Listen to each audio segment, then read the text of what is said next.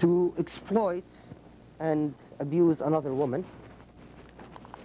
Let's, I want to read you just an introduction from an otherwise very long and scholarly paper.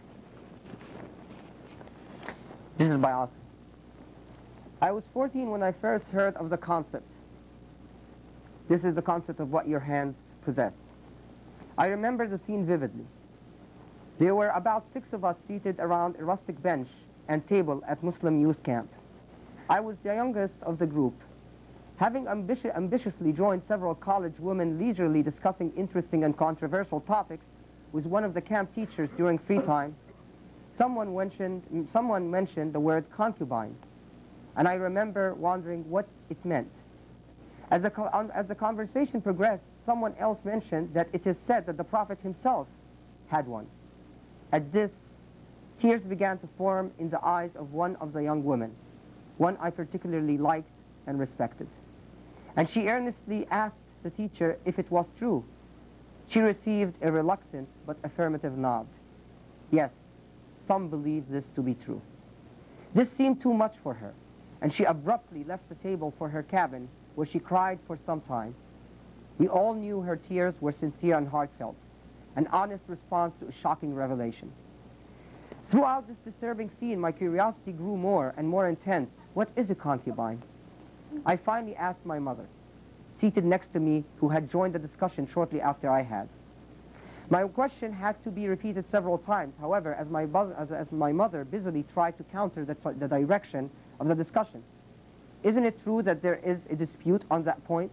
And didn't he eventually marry her anyway? Finally, she turned to me and explained rather simply, it means a female slave honey. Honey means a female slave. Later that day I learned that a concubine is not just a female slave, but a female slave who must allow her master to have sexual relations with her. That was what so disturbed the young lady at the table. And if I paraphrase, paraphrase, and that is what so disturbs me ever since that day.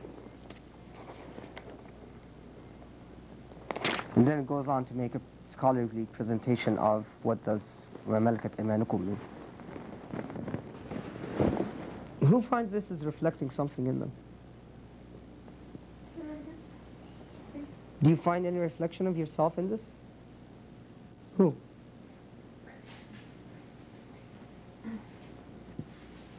Men as well.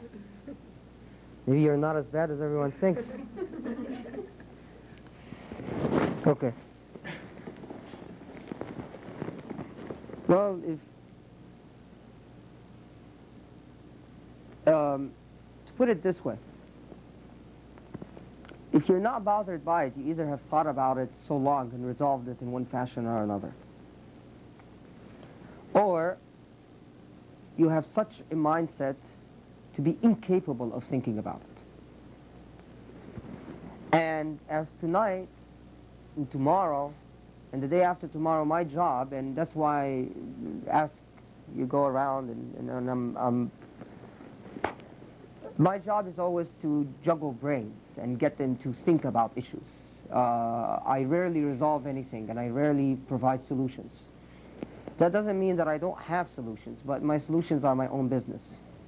Um, you have your own autonomy. With that said, I'll leave this line of argument for tomorrow. Because I want to pick it up again, and it's going to be picked up again and again until I leave, inshallah. And let's ask an interesting question. was that, was these problems an issue of discourse in Islamic an issue of discourse in Islamic civilization. And by the way, I keep looking at the women because I'm sort of intentionally ignoring the men tonight. Was it an issue of discourse in the Islamic civilization?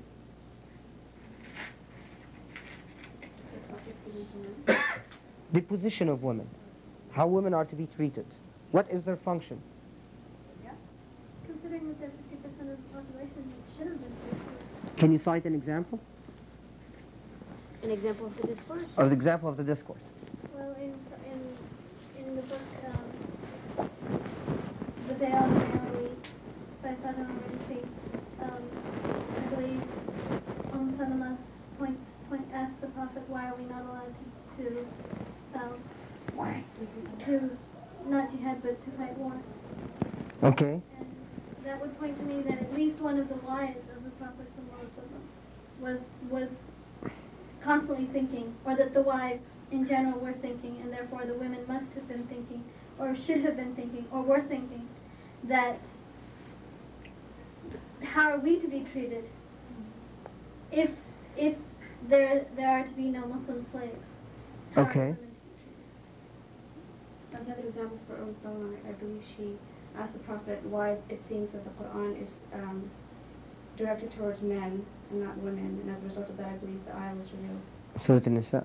Yeah, so she was questioning. Okay, and we can, Were there, were there not argu- also arguments um, after um, after the death of the Prophet um, between Aisha and Abu Huraira on whether or not um, on what interrupts a man's prayer? Whether or not a woman passing in front of a man interrupts his prayer. Yeah, and, and what was Aisha's point about Abu Huraira? Um, I'm citing also from the veil. the veil. um, her point about him was that he, she felt that he did not know the Prophet long enough, and he cited far too many examples for someone who knew him for such a short period of time. So in other words, she, she disputed his, his authority, Right. right? Okay, why did Aisha, and here the, the, um, the Shiites might have, of course, a very particular point of view on this. I think I should, if I may interrupt, um, the Surah Nisa, as uh, uh, I, I think when uh, I read the Nahj al-Balagha, and uh, especially the sermon to, not the sermon, the letter that Imam Ali wrote to his son, in which he particularly uh, talks about women and how they should be treated, is not very much different from what uh, Rashida pointed out in her. Uh, There is actually, extremely, um, I, I completely agree with her sentiments here, and that those were the feelings that I had after reading that letter. That how can that work? Okay. How, how does this work? and in fact, those of you who haven't seen Nahj al-Balagha, everyone here knows what Nahj al-Balagha is? It's, it's, it's basically a compilation of the sayings and letters of Imam Ali. Those of you who have, haven't taken a look at it, take a look at it and especially read this part in which he addresses issues of women because it is quite interesting. But on the other side, why did Aisha with Talha and Zubair rebel? What did they want? Justice for the people who killed his son. and their own. Muawiyah wanted that. Perhaps didn't they simply just want power to make their ideas become the ones that govern the new Islamic society? And even perhaps, who's, who's the leader of the group? Talha, Zubair, or Aisha? Aisha was, but she Aisha. these two men because a woman simply couldn't take the reins of power at that time. So by forming the alliance with How do you know that? what? How do you know that? That a woman can. Because she was the one who decided that where they would go, which families they would see, try to form alliances. Talha and Zubair had their input also, but If she was a he, it would be the same thing. Okay, when the Khawarij rebelled, shortly after, who's leading them?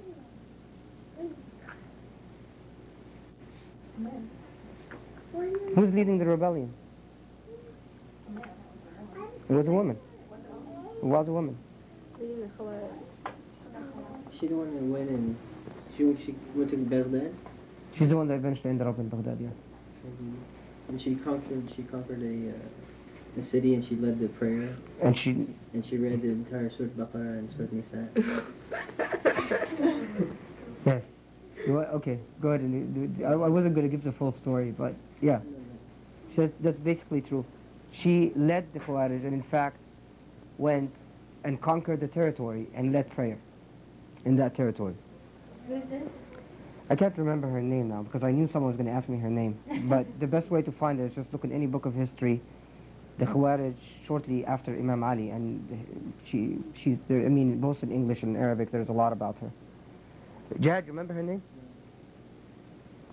Now, and in fact, I bring up this point because Imtiaz's point is, I don't think is correct.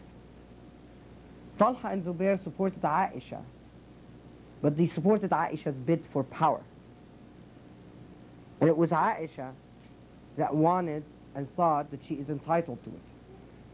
Now, but the perception we have, and of course, re remember here, I mean, you are free agents, uh, you're not children, so you, you are free to accept or reject what I say or, or dump it in the garbage can when you leave or whatever.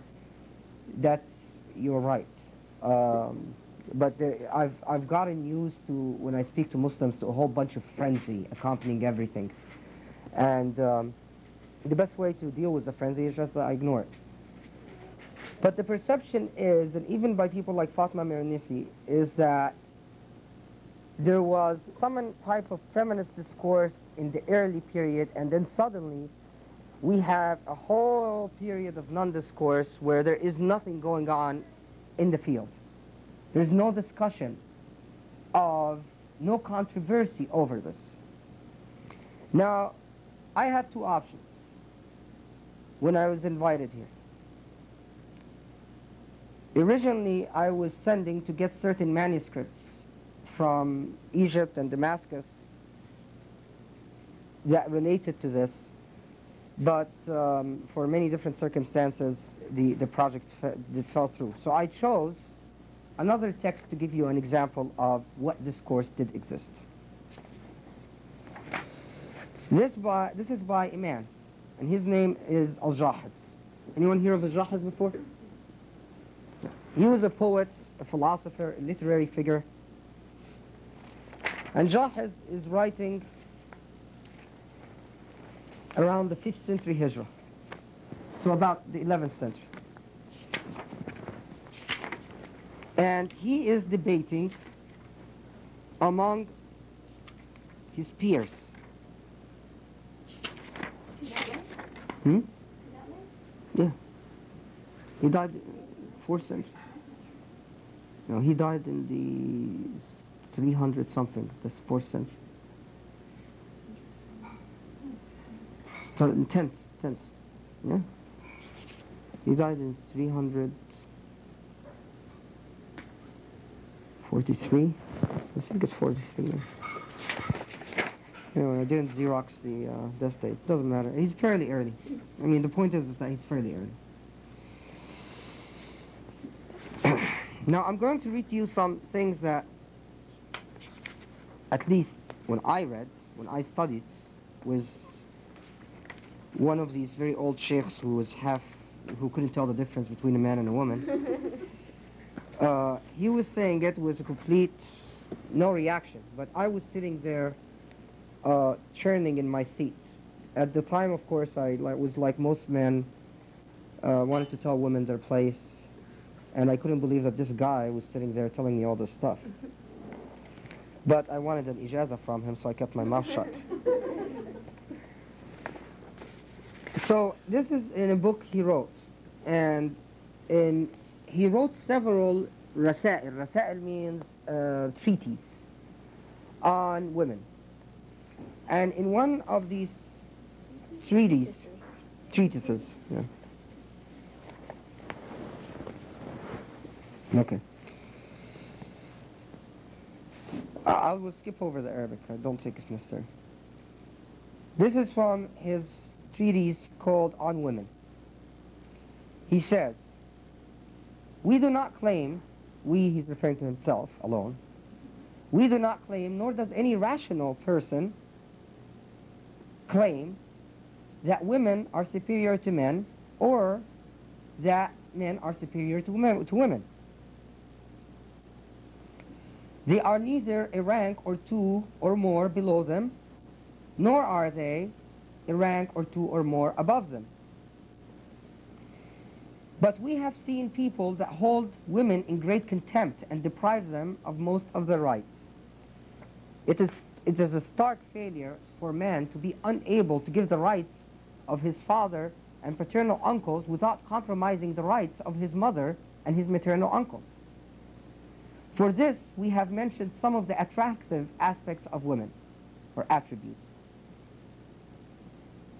If it, if it had not been that some people take pride in strength, endurance, and lack of desire for women so much so that they consider the strength of a man's love for his mother, wife, and children indicative of weakness, we would not have gone to the trouble of compiling what we have included in this treatise.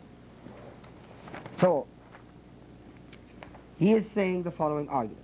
Now remember, when is this being written? This is not some westernized liberal uh, Harvard or Yale graduate or Stanford graduate who's been corrupted by the West. This is Al-Jahiz. This is as orthodox as you can get. We do not say, and no one in his rational mind would say that men are, are above women or that women are above men. Neither of them are a level or two or more below or above the other. But we have seen people disrespect them and deny them their rights. And it is a true shame that men cannot honor their fathers without depriving their mothers their rights. And it is so much so that we have seen people bragging about their strength by saying that we do not love women and using their lack of love to their wife or to their mother or to their children as proof of their strength. And this is why we compiled this book. Now, what is the book that Al-Jahiz compiles? He basically starts by doing a systematic response to his opponents. In other words, Al-Jahiz has certain people in mind that he is responding to in his discussion. And he is debating with. And in his res systematic response to his opponents, he is trying to prove certain points to them. And he breaks down his arguments by items. So he says, first, point number seven. I skipped over seven of them. If, if I had, originally my plan was, because originally all of this was supposed to come out in a, in a long article, but Allah willed otherwise. Uh, I was planning to translate the whole article and publish it as an appendix, but that did not, unfortunately, happen. So I've asked uh, someone called uh, Yasser to translate passages of it, and it's unfortunate because the whole thing is worth reading. Point seven, skipping through one, skipping through one through seven. Point seven. He says, in proof that the Arabs before Islam did not know the hijab. And here I should explain to you what the hijab is so uh, people won't frantically run outside and say Khaled is, Khaled is against the hijab. Hijab means isolation. That women, that, that Arabs before Islam did not know the isolation of women. He, he says, men have always conversed with women in Jahiliyyah and Islam and it was such, it was such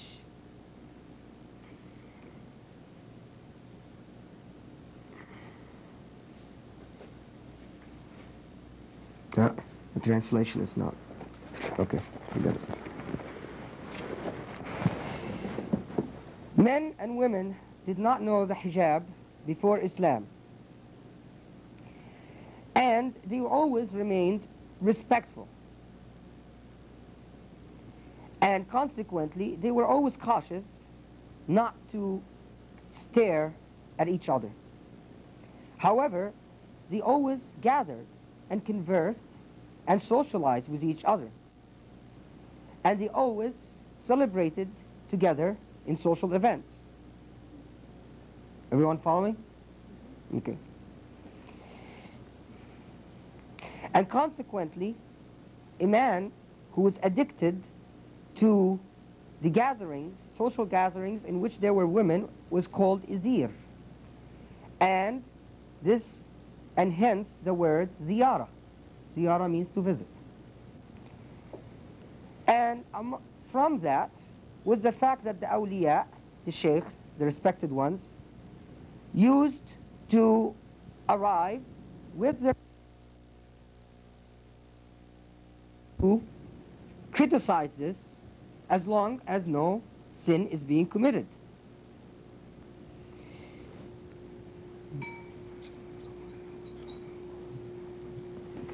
To the extent that, and the situation continued so after Islam, to the extent that um, uh, Busayna, this is one of the Sahaba, considered it quite repulsive. And he went and complained to a husband of a woman called Jamil that his wife is always present in too many celebrations. And Jamil responded that it is none of your business.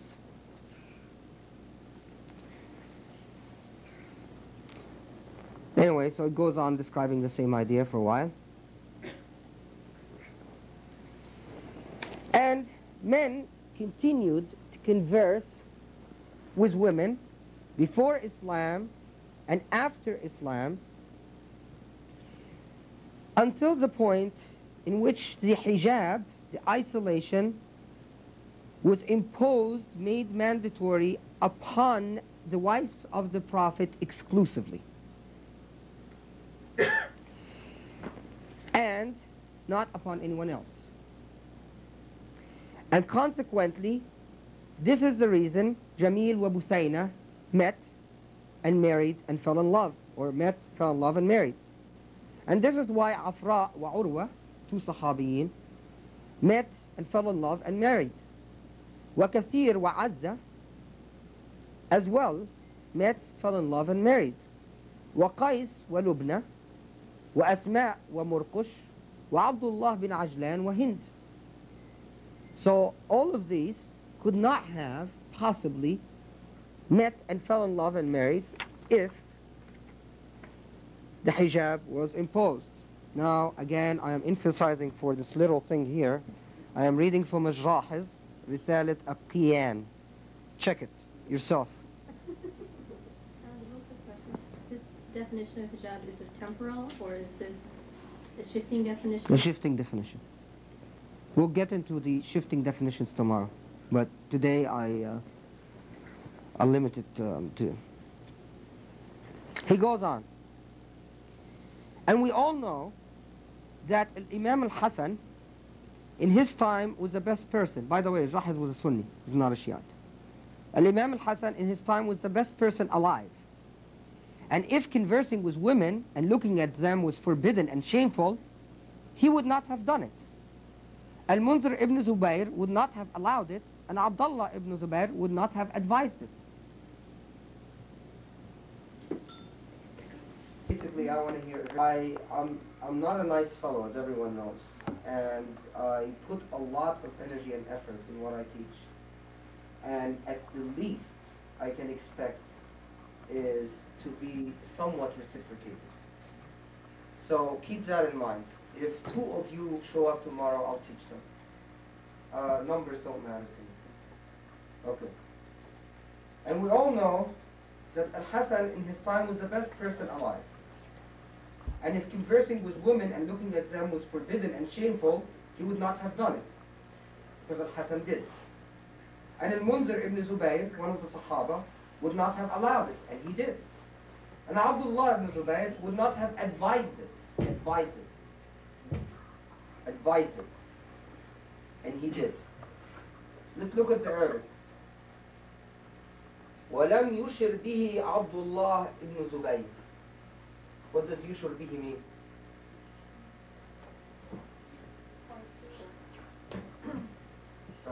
The, the, the, any Arabic experts here, come on. Yeah. يشر ولم يشر به أشارة الله that comes from Shahada أشارة with a يشر or يشر يشر Yeah, sheen, right. to point to Yushir from Ishara. So Abdullah bin Zubayr would not have literally advised him. Literally advised. Okay. Then he says, and know that Al-Hashawiyya, who's the Hashawiyya?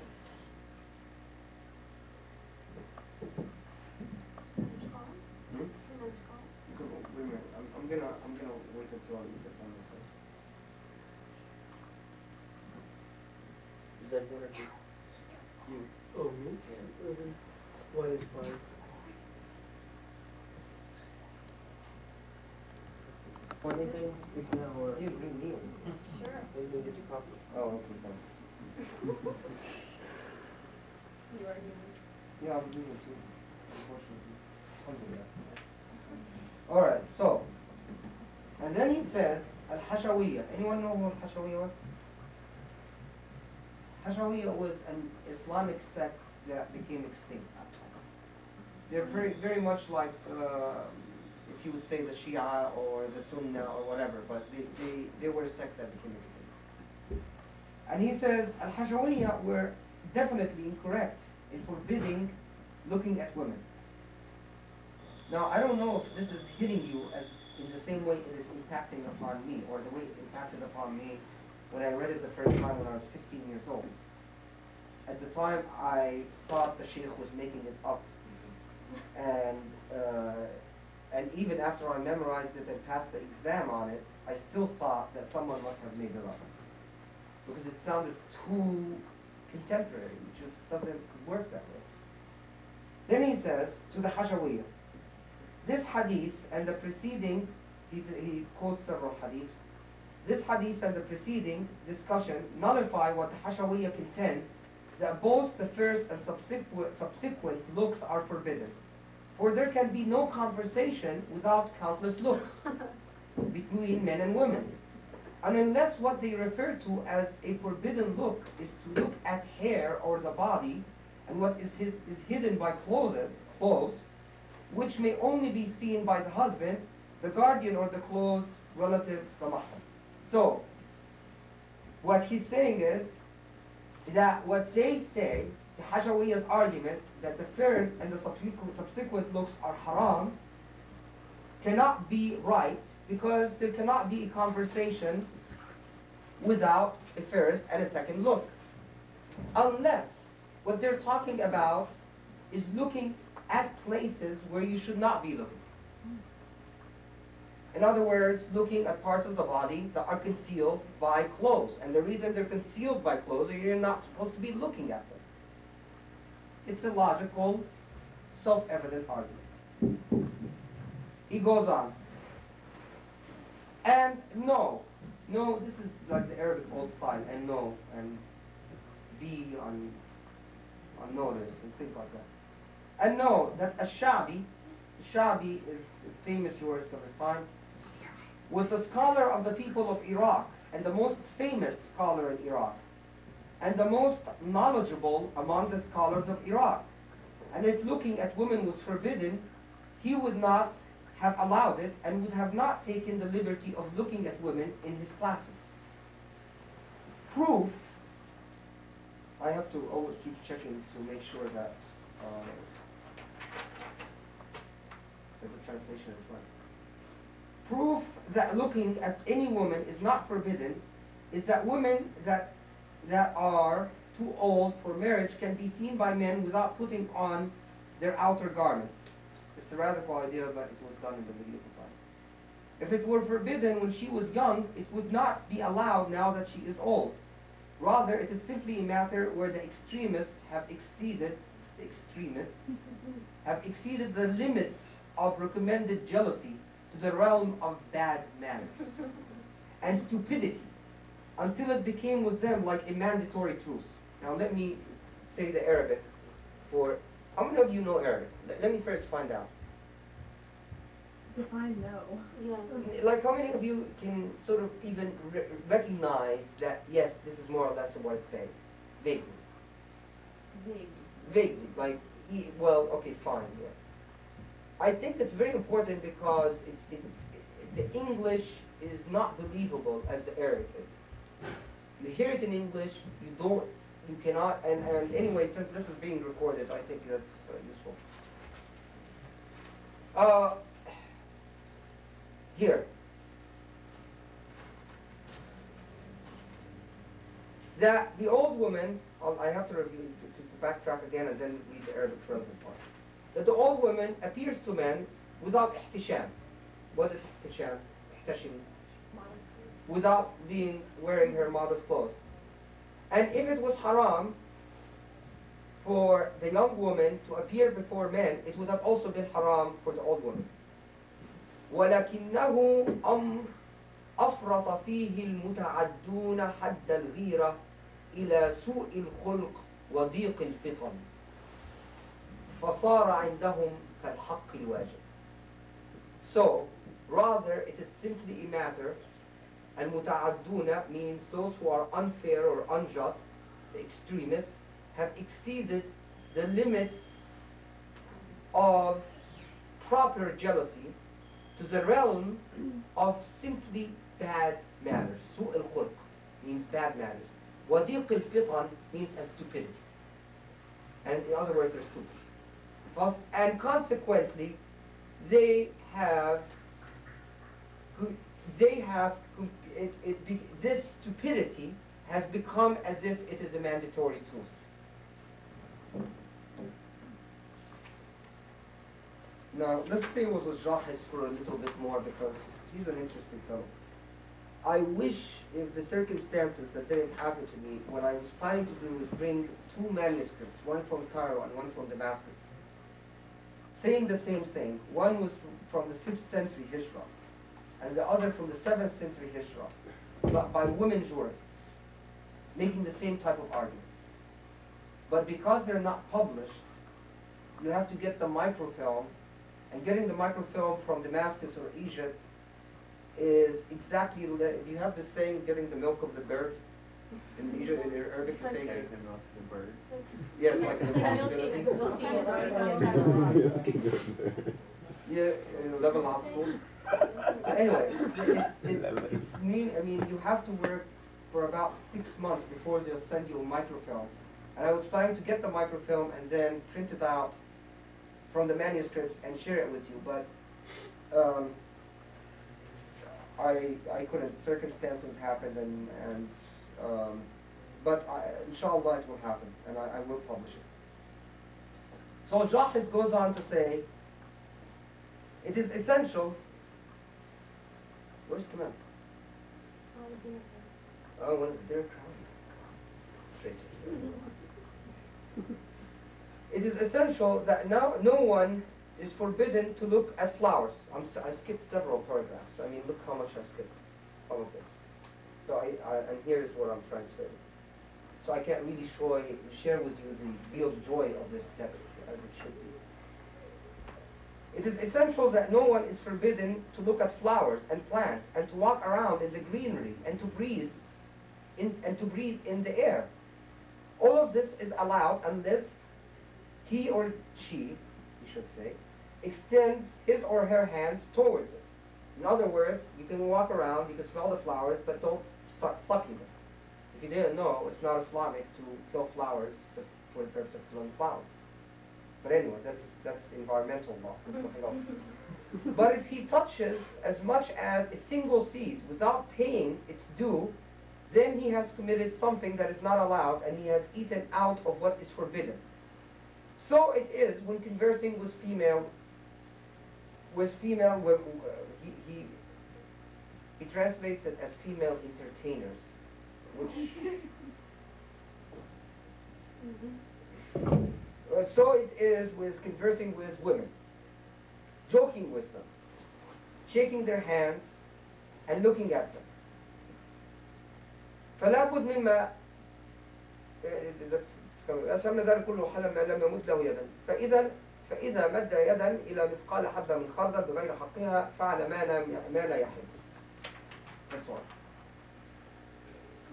What's the Arabic word that's just in terms of the Iqyan. Iqyan does mean um, entertainers, but it, it, in eloquence, you you can it's it's a it's a term of uh, praise. It's like saying the fair lady, my fair lady. So it's, uh, the same type of thing. So he says this is the same as conversing with them and joking with them. Incidentally, jo- uh, now, and shaking their hands. And for those of you surprised, there are Islamic schools that say shaking hands is not haram. And so on, as long as no haram is forbidden. I think that's enough for Najah. No harm, no harm is done. He said no. Haram, as long as no haram is clear, I'm sorry. Okay, the Risala goes on and on and on. It's about 50, pages. So here is Ujahas. So we know from this that the discourse existed not only in the first age, of course, Ujahas is responding to a reality that is before him. And he is very upset about something and he is responding to this something. And he is addressing this problem and debating with those that he thinks are denying women the rights. Now, if I would have had my manuscripts, I would have been able to show you the same debate in the 5th century and the 7th century, but made by women this time. Now, the women do not, in fact, one of the, the 7th century manuscript, she says that she doesn't like to shake the hands of men because they're often dirty. They, they, they often don't wash their hands and they're dirty. So, but she argues that basically it's, it's the counter argument of, and you see in the markets that they never know what to buy and what to not buy, and you can't tell them to go buy anything from the market, and they will never do it right. And on what basis do they say then that we are this and that? And so there is a discourse that is going on. They mean. Hmm? Yeah, talking men, men. No, that, on what basis are they, men, saying that we are inadequate or something like that? So what the important point here is not, again I emphasize, is not the fact that Islam, and I emphasize this because I hate the fact, and in, with my students, anyone that does that gets an automatic F. I mean, I fail them, no ifs, ands, or buts about it. This is not an argument that Islam liberated women and always treated them with dignity and honor and so on. This is an argument that the discourse existed. That the roots of an Islamic feminist discourse existed in Islamic history, not the feminist neo-colonial discourse that exists in the modern age. When a student comes, and I, and I often, when I went to university, I mean, I, I don't teach on a regular basis, I teach basically, basically on semester and semester basis.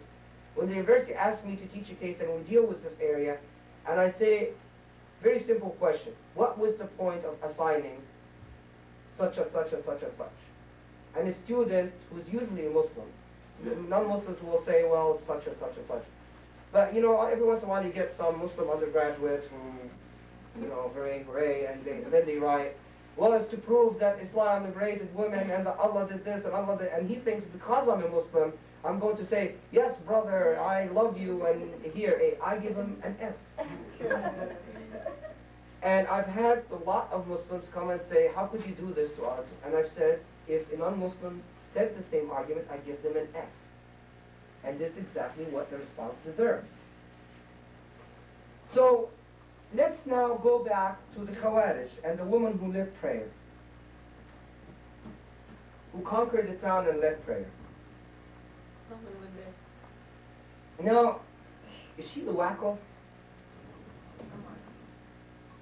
Well, the Khawarij was sort of semi-crazy anyway, right? But I say that again, of course, tongue-in-cheek, because the Khawarij became the Ibadiyya. And the Ibadiyya produced fascinating jurisprudential legacy. Well, I can't resist, I'm sorry. Among them, Al-Musannaf, Minhaj al-Talibin, um, موسوعة الشريعة. So the Khawarij, in fact, produced a whole jurisprudential tradition.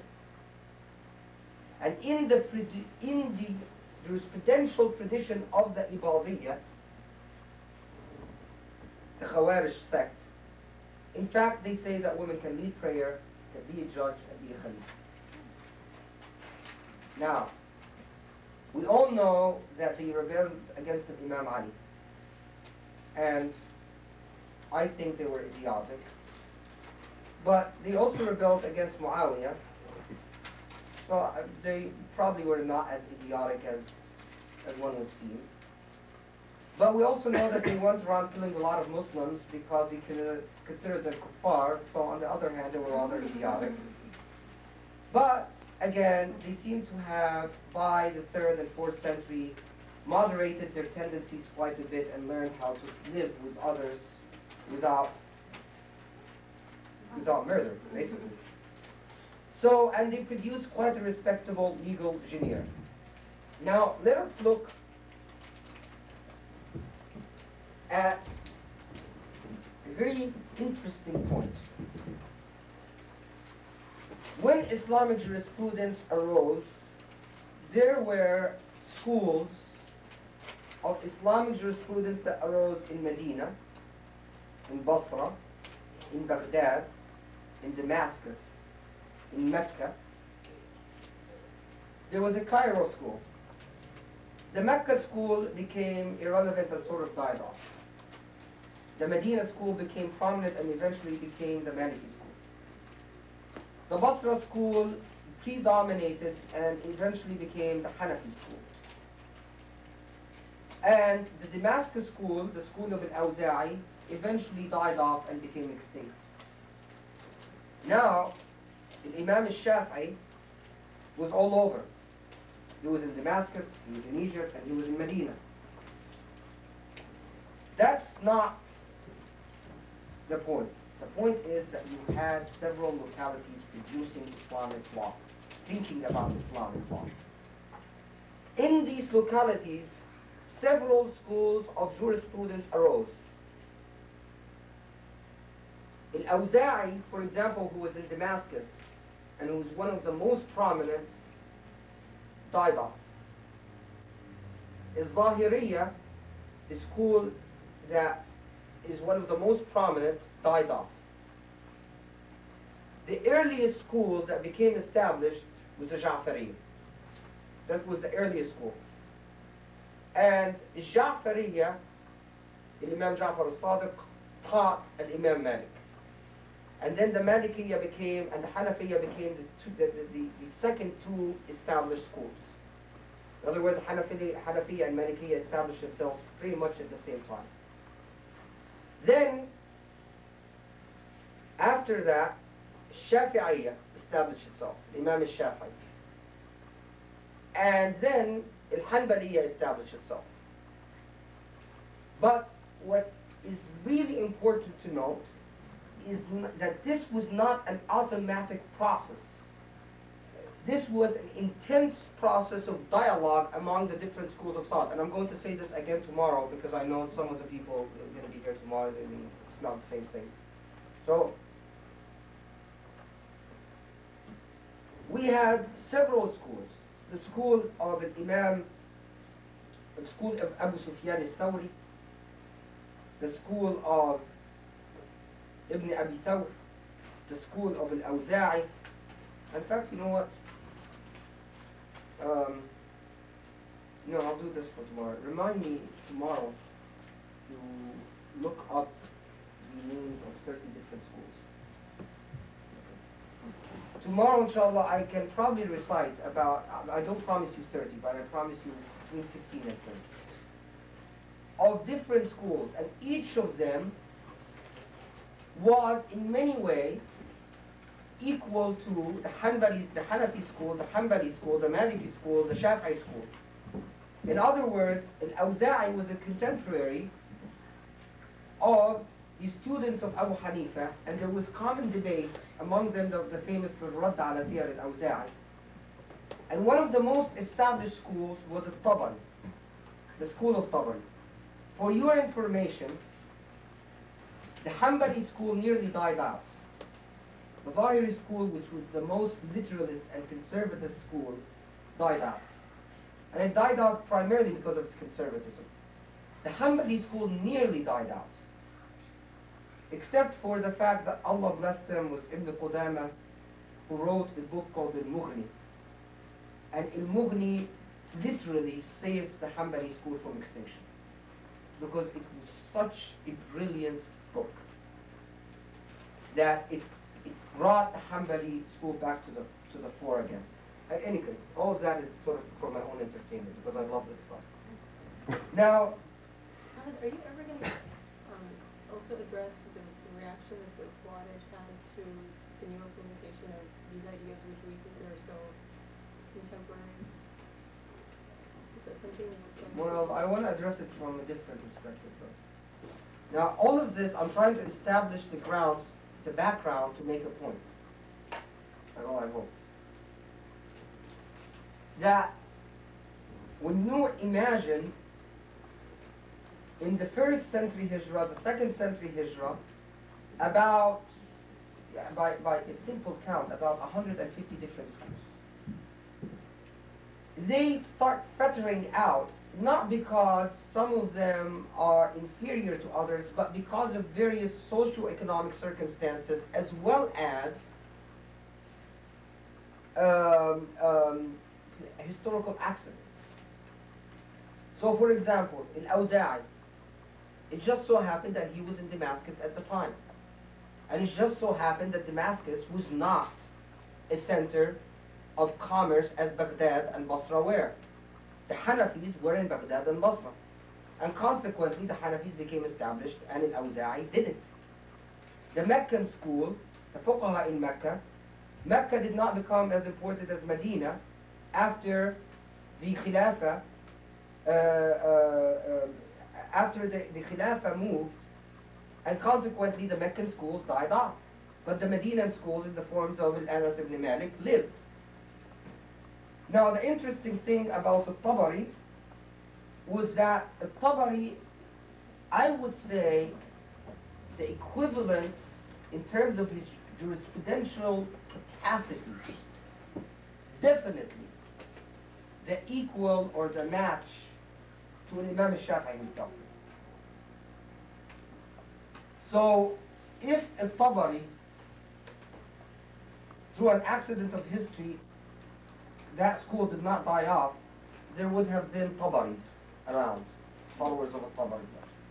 And there would have been followers of a Sawriya, and followers of Al-Awza'iyya, and so on. Okay. So wh why am I making, why am I going on about this? Because in Imam Abi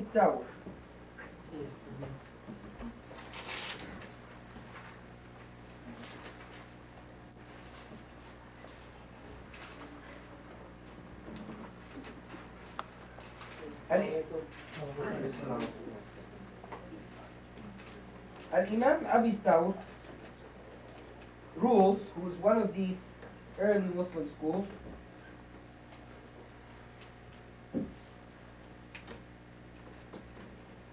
Assalamu alaikum.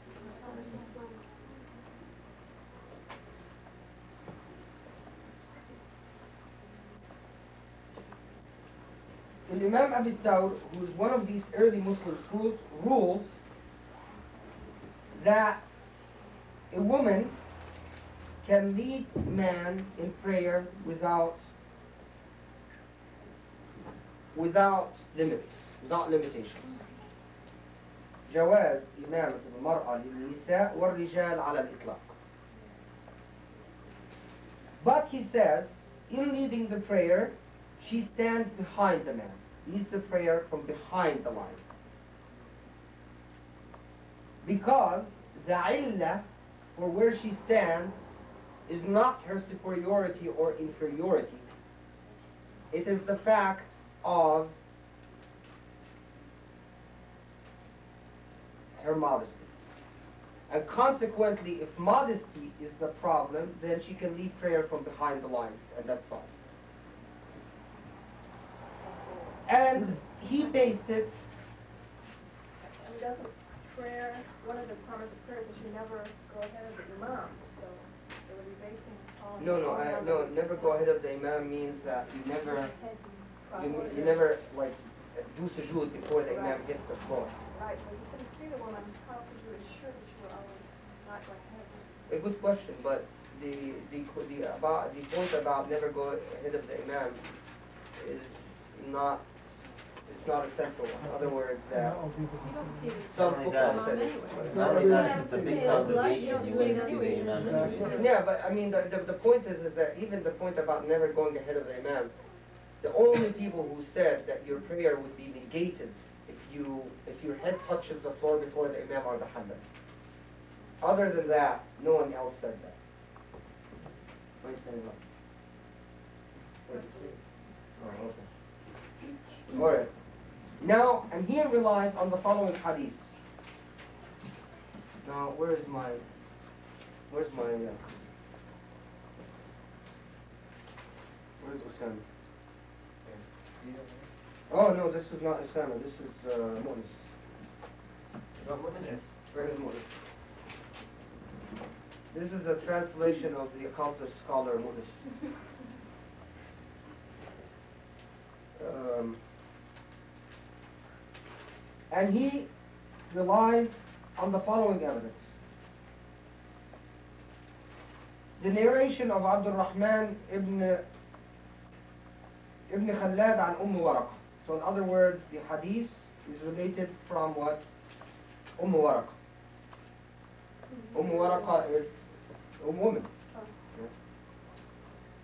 And she relates the following hadith that the Prophet ﷺ used to visit her in her home.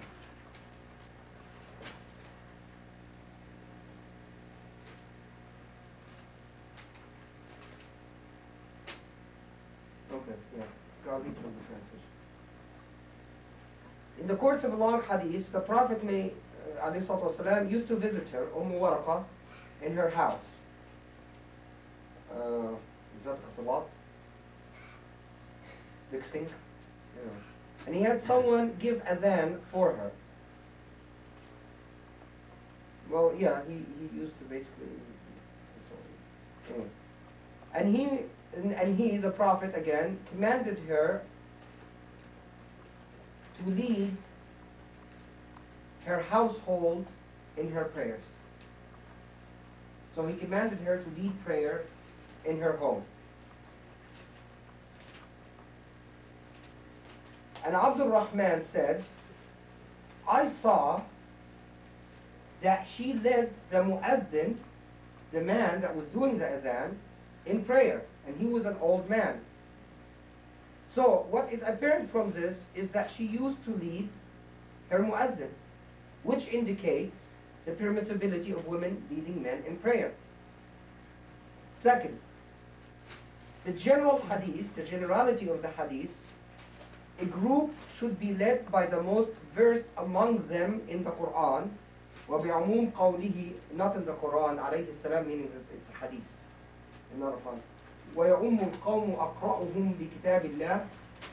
The, the, well, actually, no, he's right. I That- didn't that- say Quran, yeah. which, is, which is the most versed among them in the Quran, most knowledgeable in the Quran. Yeah. yeah. That's what I thought you were. that it is that it is general and not restricted to men, which means that it includes men and women. In other words, the hadith that says people should be led by that who is most knowledgeable, says people. the Umm. It doesn't say men or women.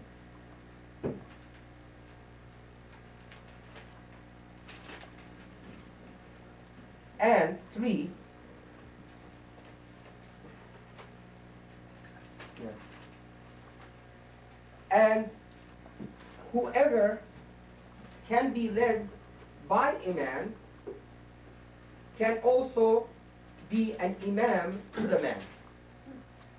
In other words, there is a qaida that says if you are allowed to be led by someone, then you are also allowed to lead that someone in prayer. This is the qaida. So, uh, Imam Abi Thawr says, well, if they can be led, then they. This is the qaida we have from the Prophet. We have no restrictions. Now here's the part that you won't like. And also, by analogy to the status of the slave, since it is permissible for a slave to lead free men in prayer, logically, women should be allowed to lead men as well, since the status of women is superior to that of a slave. Since the slave can be killed avenging the death of a woman, but a woman cannot be killed avenging the death of a slave. So in other words, he is using a deductive process of reasoning. And this is, by the way, a good translation of that. That the status of a slave, the slave can lead free men in prayer. A slave is inferior to sta in status to women. Why? Because if a woman kills a slave, she cannot be killed. But a slave kills a woman, the slave can be killed. Consequently, how can we allow that who is inferior in status to lead, but that who is superior in status not to lead? This is the opinion of Abu Thawr. Abu Thawr becomes, it's a school of thought that dies off. It's 10, right? Abu Thawr is a school that dies off. And Abu Thawr is joined in this opinion by no one less than al-Tabari, al-Imam al-Tabari. Now, Imam al-Tabari is extremely important. Number one, he wrote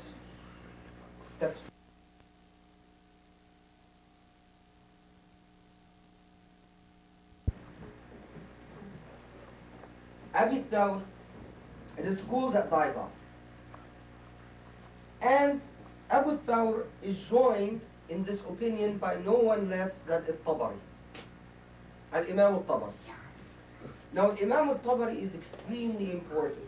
Number one, he wrote tafsir on the Quran, a very famous tafsir, tafsir al-Tabari. Number two, he wrote Tarikh al-Tabari.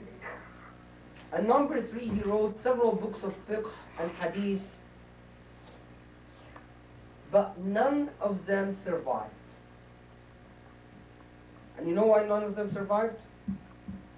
Because an Imam al-Tabari, who was quite controversial in his time, in asserting in his discourse not only about women, but about several other issues. One of them was women, was opposed by the Hanbalis. And the Hanbalis finally, not that I have anything against the Hanbalis, I, I put a disclaimer that I have anything against the Hanbalis. But that fact, the historical fact of the matter is the Hanbalis then raided his home, killed him, burned his house, and started the purge where they burned his books the only two books that survived from Imam al-Tabari is his history and his, uh, his tarikh, his history, and his tafsir. All his works on fiqh died off. Now, Imam al-Tabari had more followers in the third Islamic century than the Hanbalis and the Hanafis and the Malikis. combined. They have to all, but his books have been destroyed, they should have been dispersed among the The, it, it was, it, it was, it could, the historical circumstances where he was not a very diplomatic fellow. In other words, he offended too many princes and was rather, like Ibn Hazm, um, was rather a loose tongue. And consequently, his students managed to save only these two books, and that's a miracle, believe me, because the tafsir is huge and the tarikh is huge. But it was made a point, and he was dispersed only, by the way, in the Damascus, Baghdad, and Arabia. As far as we can tell, he never reached Egypt. And the only reason that his Tarikh and Tafsir survived is because copies of his Tarikh and Tafsir reached Egypt. And in Egypt, they didn't care. Mutazan Tabari was, who cared? So that's the only reason it survived. And in fact, the manuscripts of his Tarikh and Tafsir is in Egypt. But the material that was around Baghdad and Damascus was, was pretty much uh, collected and destroyed. Now, we have evidence. Now, someone told me this, I mean, jurists told me this, that when he was in Damascus, he saw a manuscript of his book on fiqh. And he swears on the life of his children that it's there. Now, I am willing to someday take a trip to Damascus and search it, and if it's true, then it must be edited and published. So, we, in other words, we don't know. But anyway, the Imam al-Tabari's school eventually dies. So, now that just by the sheer numbers of people we lost, I have proven that this, in fact, is to be quite a demanding lecture, and I believe that anything demanding has to be tedious and has to be exhausting. Without exhaustion, you don't learn anything. Anything that entertains you is probably not good for you. Anything that you feel exhilarated as you are absorbing is probably not a good idea. I am one of these people who very much believes in suffering. Now, let us finally, I will get to one more Islamic discourse. So you see the other side of the coin. And then I'm going to get to the modern discourse, and then I'm going to end it, except for anyone who has questions. I'm available if you're still conscious. I I tend to uh, almost sort of keeps me with a tremendous amount of energy until the class finishes, and then I collapse. Okay, so.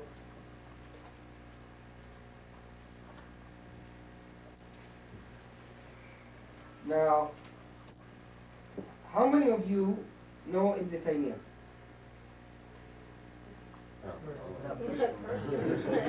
Anyone, any friends of his here? Well, you know, it's, uh, I don't, I don't need to scare you more than. Now, didn't someone translate Ibn Taymiyyah? Okay, hold on. Ibn Taymiyyah Tawheed. Didn't we give it to, uh, Yasser? Put entertainment. No, I don't want entertainment. Only today. Ah, yeah, okay. Now, here's a fatwa. Listen to the fatwa carefully. Can't, I, I mean, it's, it's a shame that, uh, uh, even if I have to say so, um, give me, I mean, I will take a copy of this lecture and just transcribe it, and I think my article is done. so, it's very good. I'm, I'm happy, uh, we were doing this. Huh? Well, only you had, I'm, I'm not grateful for anyone else. um, okay, here's the fatwa by Ibn Taymiyyah. Now, Ibn Taymiyyah is, is quite late. He's in the uh, 6th, 7th century Islam. So he is asked the following question. If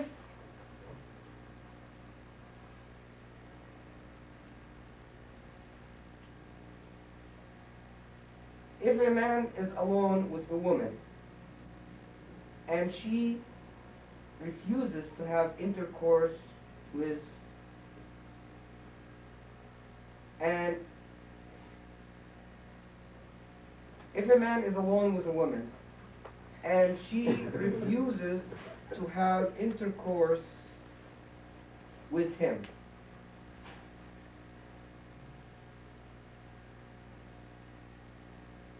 then consequently we know that her right to the mahr has not been established in the in the madhab of Imam Ahmad ibn Hanbal.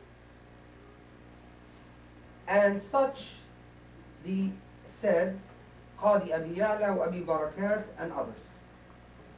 And so on, so on, so on. Now, it says, and if she acknowledges that she has forbidden him intercourse with her, then they are, they are agreed that she does not have a claim to her mahr, and he does not owe her support as long as she remains in that state. If she hates him and desires someone else, i.e. for marriage, then she should ransom him, ransom?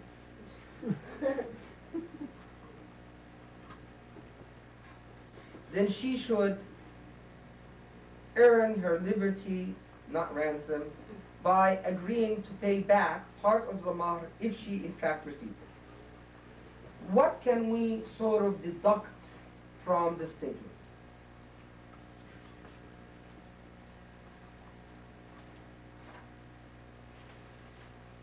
What would seem to be a reasonable deduction from this? So that wasn't a question, Alex, that's. Well, yeah, I said the first one, but uh, I was wrong. Because it is a book of books of Part of fatwa. his right. Yeah. That, I you can deduct that, we deduce that mahr doesn't become operational until after consummation. Yeah, but that's too You weak. can deduce that Yeah, the wife has a right to refuse sexual intercourse with her husband. On the money. On the money. We can deduce from that that she can refuse. She doesn't get the mahr. Okay, now. Now notice here, he says that Malik was Shafi'i wa Abu Hanifa, all of them agreed on that point.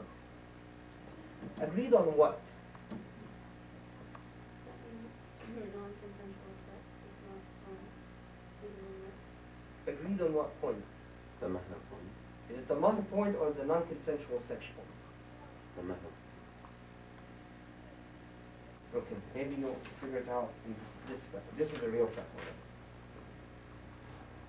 Imam Ibn Taymiyyah was asked, a man married a woman and he wrote a book on her and he paid her the mahr completely and a part of it remained unpaid.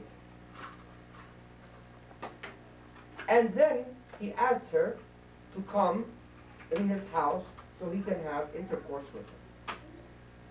So she refused and she went to her aunt and her aunt hid her.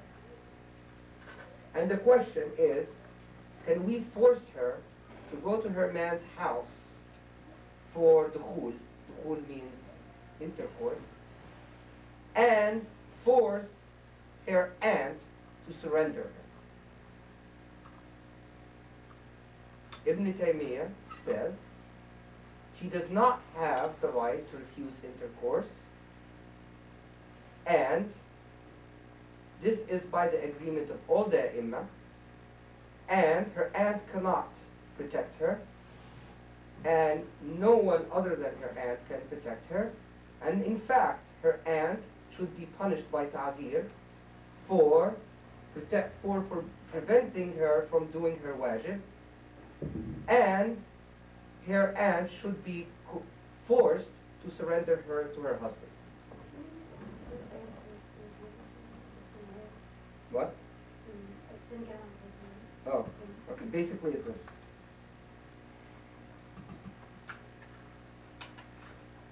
A man, a man comes to a Taymiyyah and says, "A man wrote كتب كتابه he married this woman. He paid her mahr except for a part that remained unpaid. Now then she refused intercourse. She refused to consummate the marriage. I, I don't know why I got into that word consummate. Upon refusal to consummate the marriage, she left and hid in her aunt's house. Can we force her aunt to surrender her to her husband, and can she be forced to consummate the marriage? And Ibn Taymiyyah says, yes, she can be forced to, she can be forced to surrender to her husband, where he would consummate the marriage, and her aunt must be forced to surrender her, and her aunt must be punished for hiding.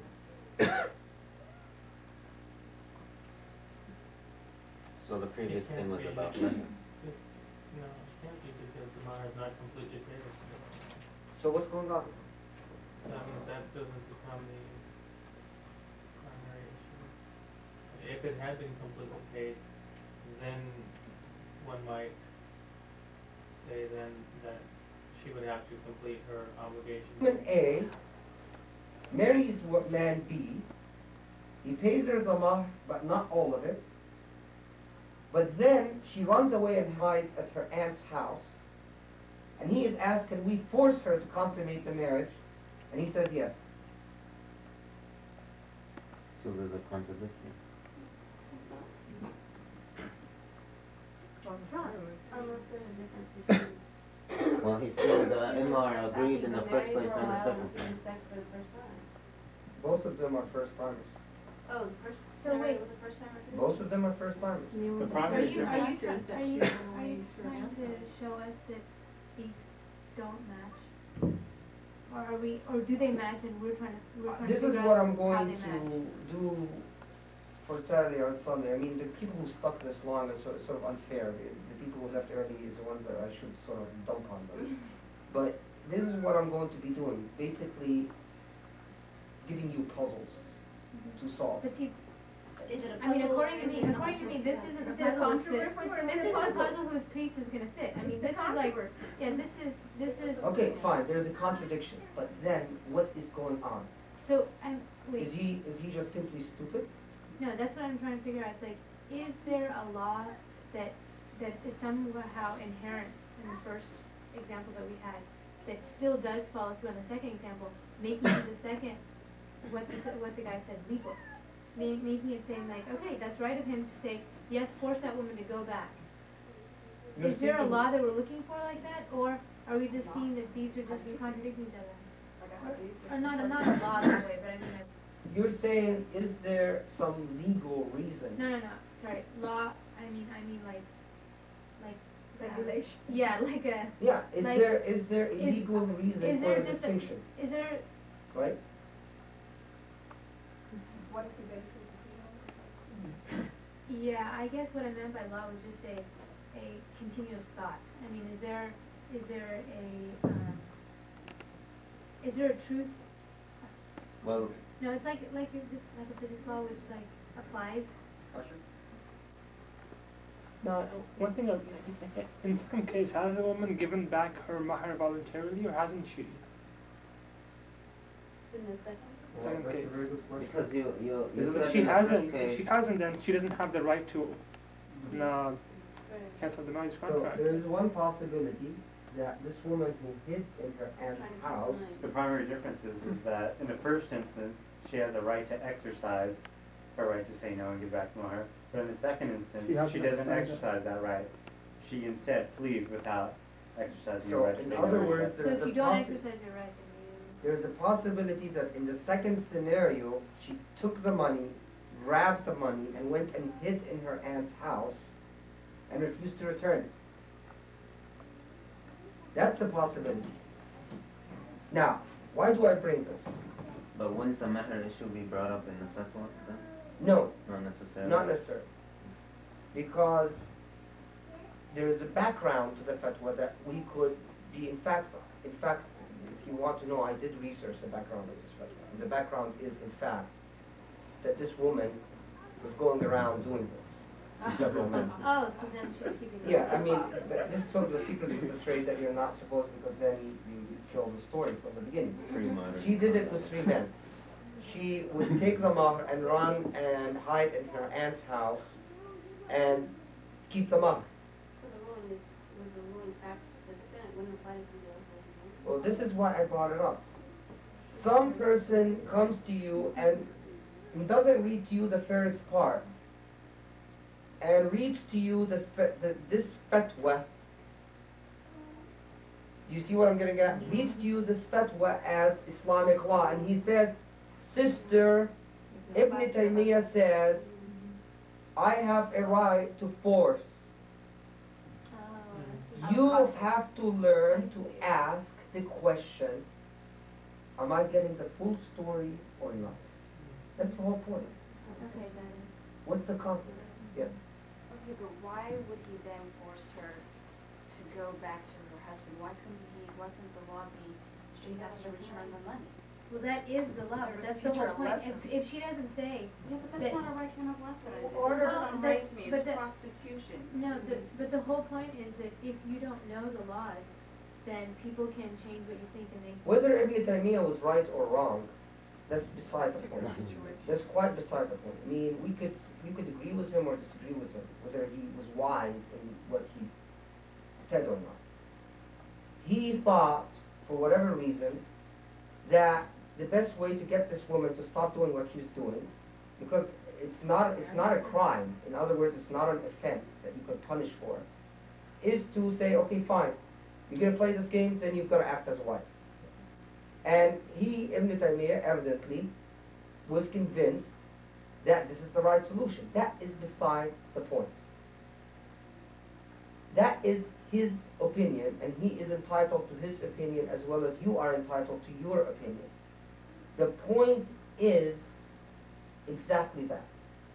That even if Ibn Taymiyyah reached the wrong decision, even if Ibn Taymiyyah states something clearly, one, there is a possibility he's right, and there is a possibility he's wrong.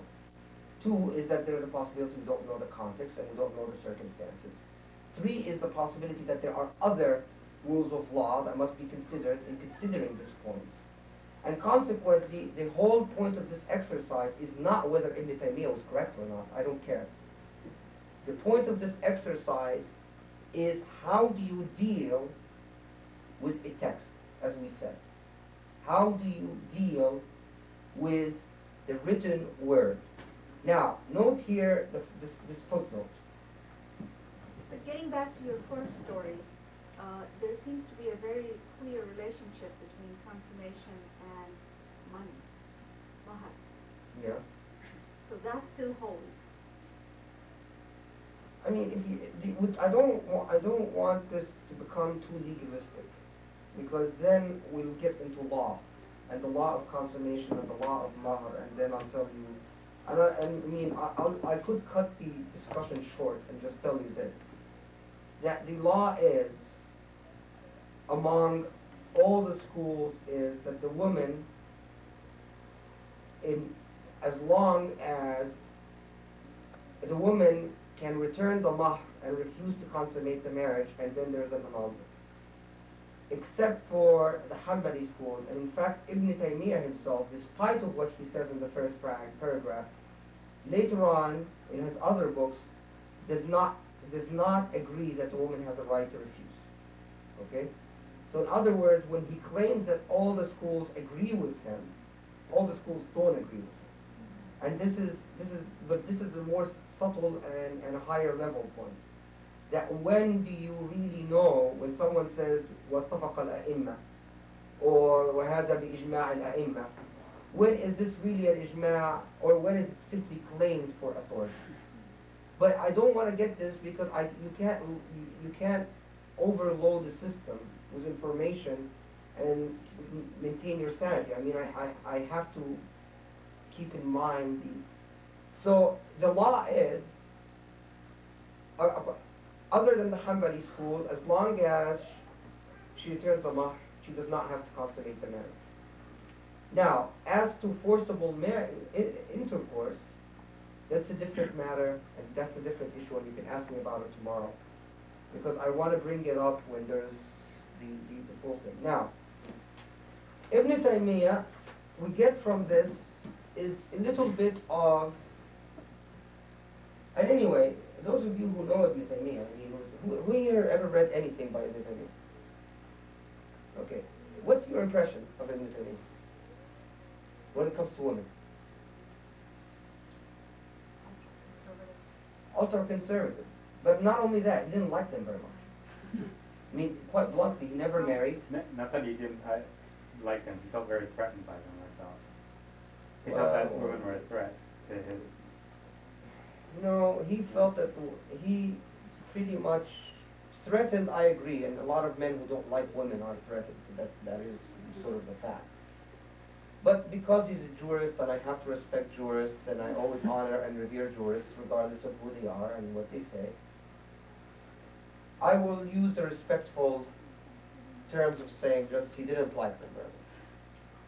Uh, in, in my method, jurists are the inheritors of the prophets and you disagree with them, but you never insult them. Now, of course, you guys can do whatever you want, as long as you don't insult me.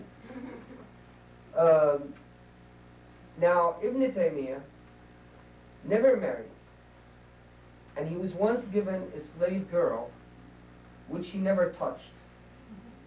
And she went and object and complained to the Qadi that this guy never touches me. And the Qadi ordered him, you're not doing your rights towards this woman, you've got to give her to someone who will. So he went and he gave her to one of his students or something like that, and, and so on. So we get a sense of who Ibn Taymiyyah was when it came to that. And by the way, in another fatwa, uh, and here uh, we don't have any minors, so it's okay. Uh, when Ibn Taymiyyah was once asked, also in this fatwa, woman once went to him and complained to him that her husband doesn't satisfy her sexually and she wants a divorce. And he said, well, what do you mean by that? And she said, well, I want to know what is the minimum that my husband is obligated to do before I can have a divorce. And he said once every three months. As long as it's once every three months, then there is no divorce. So all of that is read as text. And all of that are read as thoughts, as manifestations of a civilization. Now, finally, I want to go over the fact, although Ibn Taymiyyah evidently does not like women very much, he is asked the following question.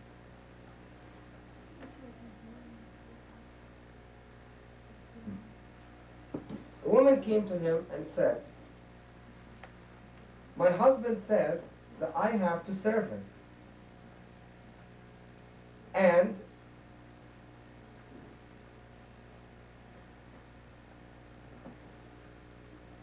and my husband says that I have to serve him. I have, in other words, to clean and wash and cook and all of that. And I want to know, is the service that I perform to my husband equal to the service that a slave is obligated to perform and a servant is obligated to perform or not? Then he said,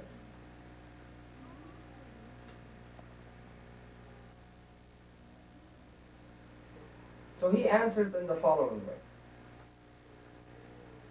What is known amongst us, and here pay attention to the word, word. ما هو معروف. What is known amongst us is that service of a woman to the husband is obligatory. But some of them said that she only owes him the minimal service, الخدمة اليسيرة.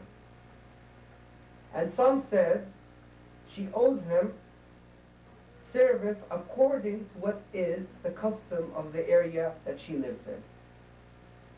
And consequently, she owes him the service according to the custom of her class status, her social status, her time period, and her locality.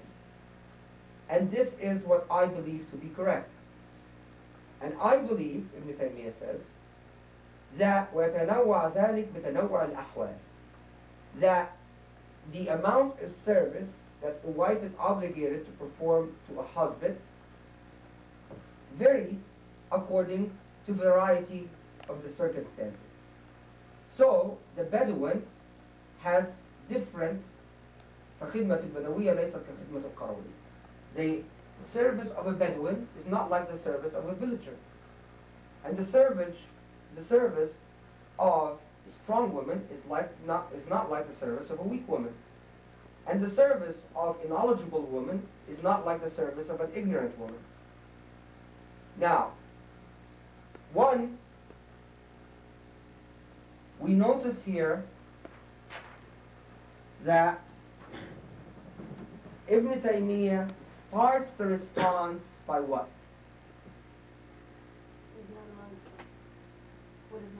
What is known amongst us? The response starts by what is known amongst us.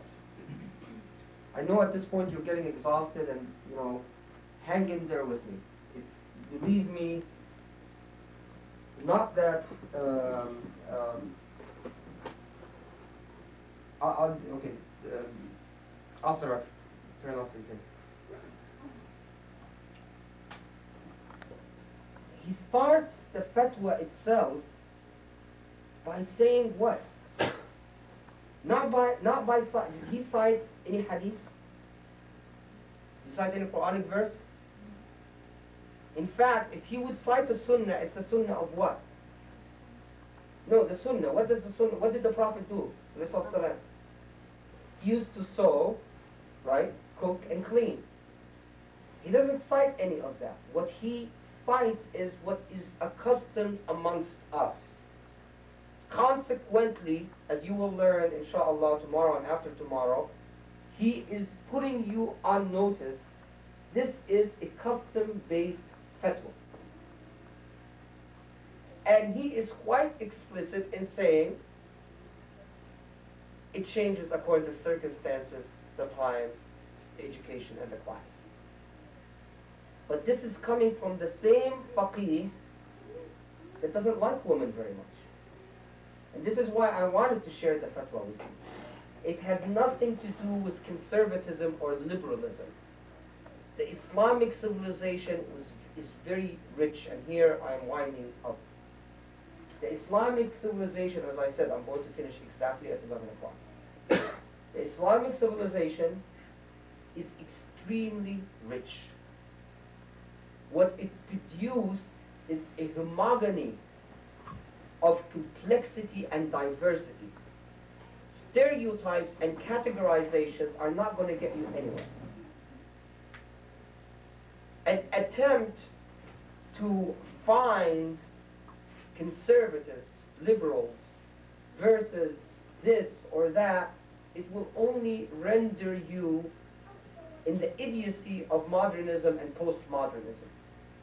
The Western civilization and modernism and postmodernism is a tagging civilization. In other words, it's a civilization that bases its very means of production, and here I'm not, I'm not uh, saying that, oh, you know, revolution or anything like that. What I'm saying is, understand what is going on.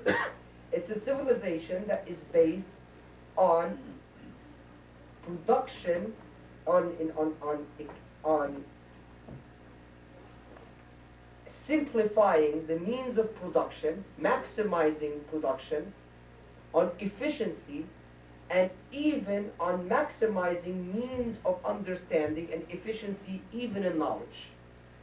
And consequently, the method, the methodology of knowledge pursued, for example, in the United States as opposed to Germany or France, United States and Britain as opposed to Germany and France, is an attempt to find categorization. to find schools and, and discover classes and discovers clear dividing lines where you can sort of say, aha, this belongs to that, and this belongs to this, and this belongs to that. And it is part of the whole economic structure. My argument to you, that's fine. If you want to live your life like that, that's your choice. But if you want to understand the complexity of Islamic civilization like that, you will not succeed. It doesn't fit. And that is why a lot of Orientalists sound so idiotic. Some of them who manage to capture the complexity are very good, like Baber Johansen in Germany. Or uh, like Michael Cook, even though he has some crazy ideas. But anyway, he's very good. He captures the complexity in the civilization, the richness, the diversity, even within the individual. One faqih, just because you know his opinion over one issue, you cannot predict his opinion on another issue. Because no one could predict that Ibn Taymiyyah would say that a woman's service to his, her husband would vary according to the culture and time. This sounds like a wacko liberal talking, not Ibn Taymiyyah. When people speak this way, they say, oh, well, they're liberal. You don't understand Islam. Now, I don't claim to understand Islam. What I've done is I brought Islamic texts and shared them with you. You go figure out what Islam says. You go figure out Islam. I can figure it out for myself and I will keep it to myself. But that is all that I hope for. Before we conclude, I want to leave you with a note. You've seen the broad spectrum of complexity over the issue of women and Islam. I didn't use any slogan. I didn't use any rhetoric.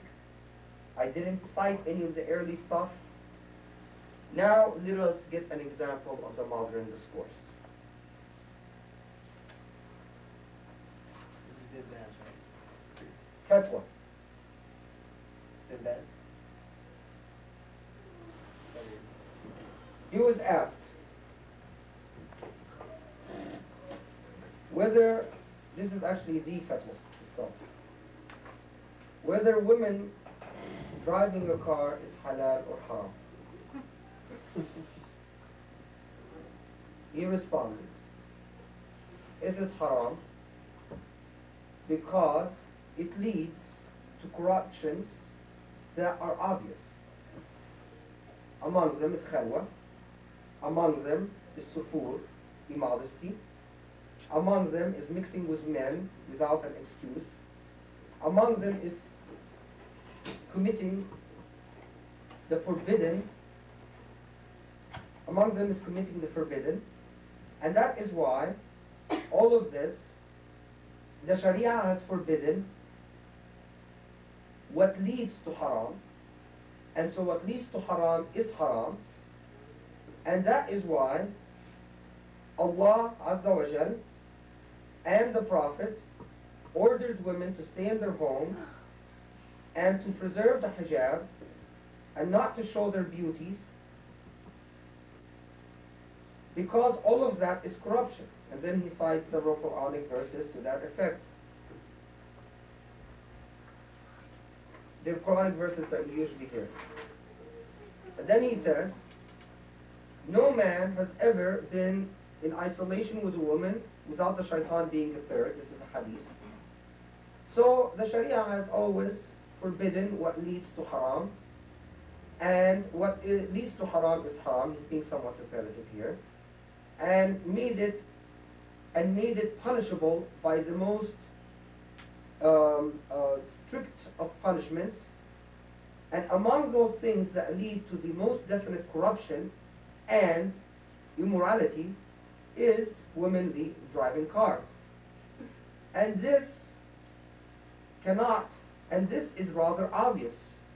And it is rather the ignorance of people with the ahkam sharia with the laws of sharia, and with the rules of Islam and with the morality of the Quran that leads them to follow the ways of the law and error. Error. Um, um, whatever. And that is why a lot of those who are sick in their hearts and who love corruption and who love looking at women go on talking about this matter because what they want is the opportunity to enjoy looking at women. As the Prophet has said, I have not left a greater test to men after me more than women. And he used to be asked, the Prophet ﷺ, he says, what is the best thing that is going to come after you? And he says, such and such and such. And he says,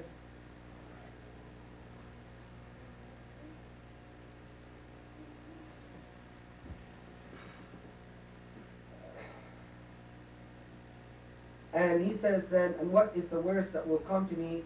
He says, people who invite to messages that sound like they are just, but these people are unjust and the seekers of corruption on earth. And consequently, I am imploring every Muslim to, to protect himself from corruption and to not spread the evil of women driving in cars which would lead to a certain haram. Now, this is fatwa.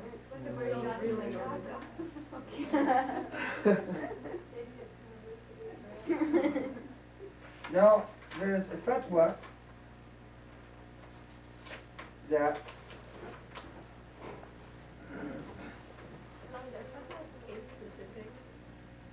it, it, it was bin Baz, uh, they're just uh, basically whenever he feels like it or... No, but when someone issues a fatwa, is it particular to that particular case? One case off that case, or is it, is it general law? No, no, no, no, no, the shot, the shot is haram. Uh, okay, then, What does, uh, what do the qualifications have to be, can do a fatwa? what? Excuse me? What are the qualifications of the fatwa? Uh, you mean, um, in Islamic civilization or now? That's a whole other lecture, No, in Islamic civilization, basically that you have ijazahs from scholars that have ijazahs. In other words, you be certified. If you're not certified, it's like exactly, exactly like the practice of law. If you don't pass the bar and you don't have a license, you can't do it. But at that time, their license was ijazah. Nowadays, it's basically whoever the government allows to be the spokesman. Okay. Okay, before doing that, I, I want to get rid with of the- the- of the bad and then sort of. He's also asked about, now, I, i- listen, it, uh, my, our sheikhs, and I think it's, it's, it's not I think, it is a hadith, that la haya there's no embarrassment in religion. And as I told you, our sheikhs would talk about the most embarrassing things in the world with a straight face, men and women sitting there, and not even as much as a smirk or a smile on their life, uh, on their on their life, on their face. Well, that's sort of Freudian slip. but anyway, he is asked also, and I don't, I don't, I seem to have misplaced it, but anyway, I have this fatwa memorized. It's in the same book, so you, you can check it. Uh, for the tape, this is Majmu Fatawa bin Baz, volume 4, volume 4, and uh, volume 3. Go check. He's asked if wearing a bra is haram or halal. A bra. Referred to as a suntiyan in his terminology. Now, he responds to that fatwa by saying that, and here exactly is his wording, because this one I've, I've taught so much of it now. if it is to give the false, no, I'm sorry, sorry. W- Some women wear the bra to give the false impression of larger chests. And that is a form of deceit and consequently that is haram. But if it is worn for medical reasons, that is halal. Now, I'm using Bin Baz because I, I think that's the other extreme. Then I have a fatwa about ikhtilat, which he basically says is absolutely forbidden. No man and woman should ever be in any mixed company. And then finally fatwa about whether a woman can work and and can go out in the street without wearing um, the abaya or this cloth. And he says a woman can neither work nor go out in the street without the abaya. Um, she can work in her home, of course, like if she wants to be pottery or something like that. Now, the interesting thing about Bin Baz and his fatwa is, look at the, well, we can't see. The style of the fatwa is structured in a certain fashion. Talk, Quranic verse. Talk, Quranic verse. Talk, hadith, talk. The Quranic verse, when you are approaching it, you ask, are any of them on point? Do any of them specifically address a bra or a car or work? No. What is he doing at that point? He is deducting. And he is using certain methods of deduction. Consequently, a deduction can be met by what? Counter-deduction. The only difference, in my view, between the discourse of this age and the discourse of the past age is that this discourse in the contemporary age seems to be, again, and I emphasize this point, a knee-jerk reaction discourse. Basically, what I've said again and again, it's a Coca-Cola machine type of mentality or hamburger knowledge type of mentality. You want a quick fix and a quick answer. You want to put the coin in, press the button, and the Coke comes out, a ready-made solution. You solve the problem.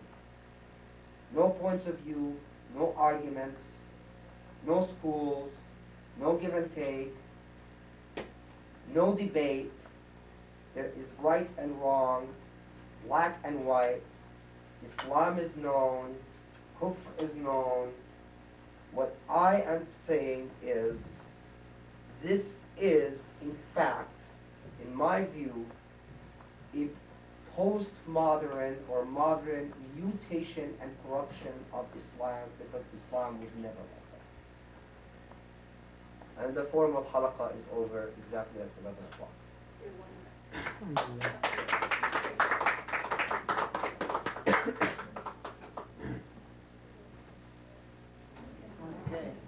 Now you are re- you are free to leave or free to hang around for a little bit or do whatever or do your thing or ask questions or You were out for like, a while. I know. You, you got you on tape, I think. where did it change?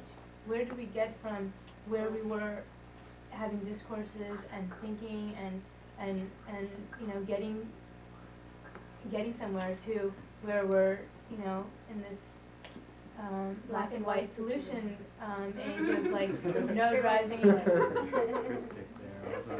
Well, I mean, I, I have no special competence to answer that question.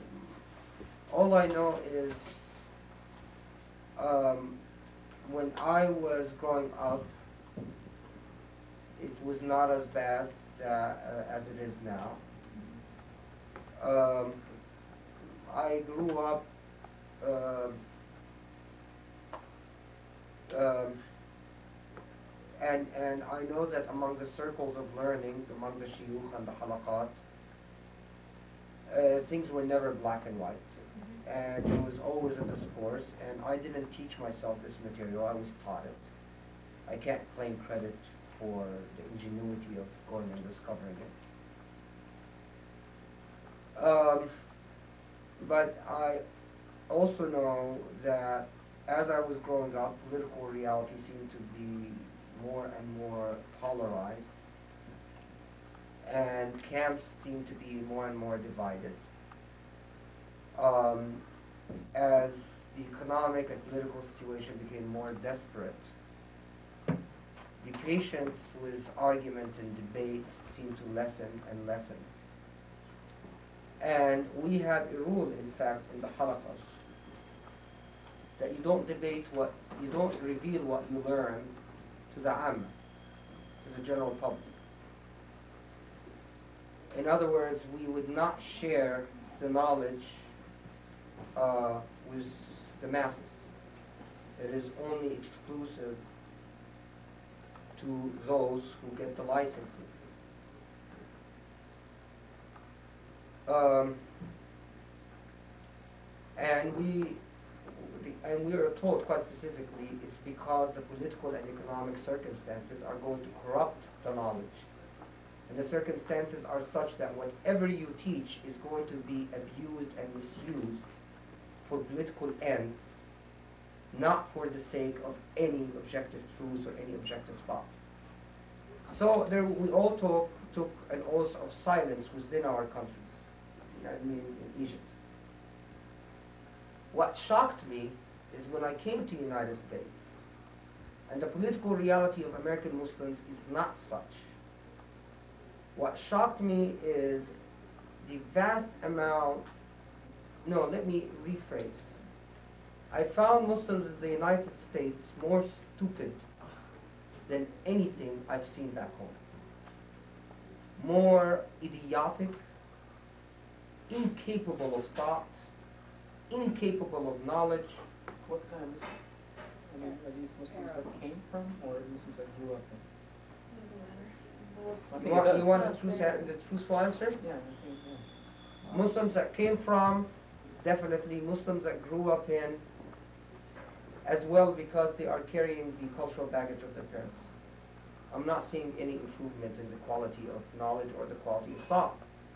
And it's, in fact, you are a minority. I mean, you are an extreme minority. You are not a majority.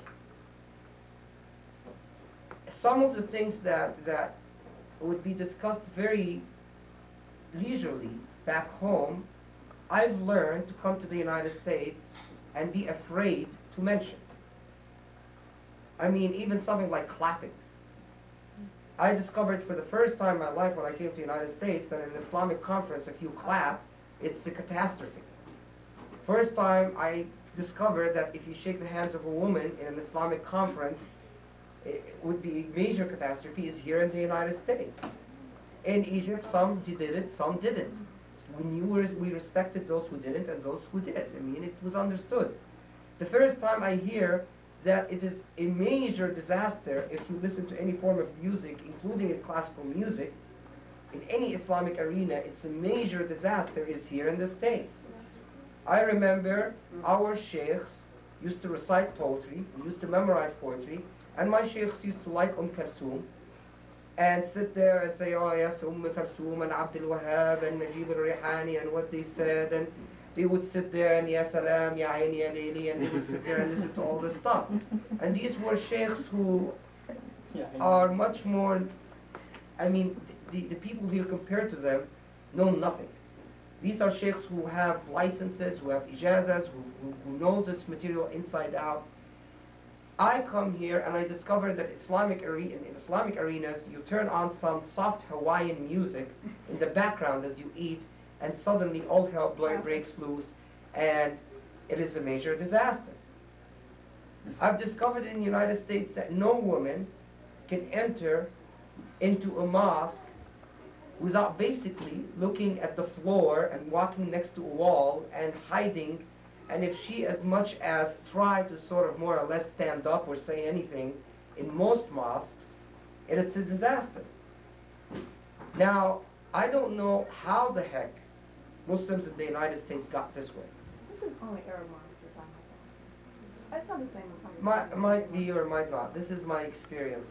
I mean, I've been doing this since 1982, and my experience has drawn me more and more into isolation. I mean, you can see the burnout and the bitterness in the way I'm talking. Yes, there are exceptions. Yes, in the LA, LA mosque, for example, I see that. Yes, in AMILA, I see interactions and so on. But mm, I don't, I won't concede it's Arab mosques, Indo-Pakistani mosques as well. Uh, there's, there's absolutely no difference in that regard. The fact of the matter is, is the, and most importantly, the so-called scholars here in the United States, the people, in, and this is why uh, the people who dominate the Islamic discourse tend to be um, demagogues. I mean, there are scholars, but not too many.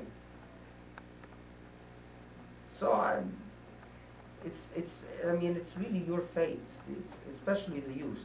Uh, my job is to come to to bring back the roots, to attempt to get you excited a little bit about your roots, about your heritage, and to tell you in very blunt fashion what I think, what my assessment, I might be completely wrong.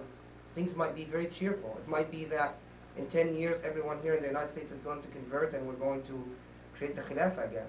It might be that California is right. It's just a matter of a few years and California is going to be declared a Khilafah. It might be. I'm just giving you my own perspective.